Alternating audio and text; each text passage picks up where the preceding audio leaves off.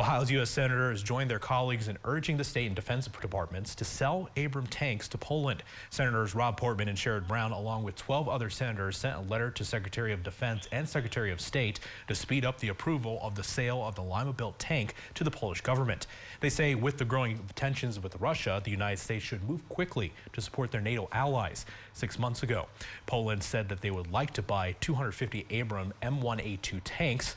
The senators say they would like a status from the U.S. government before the end of the month.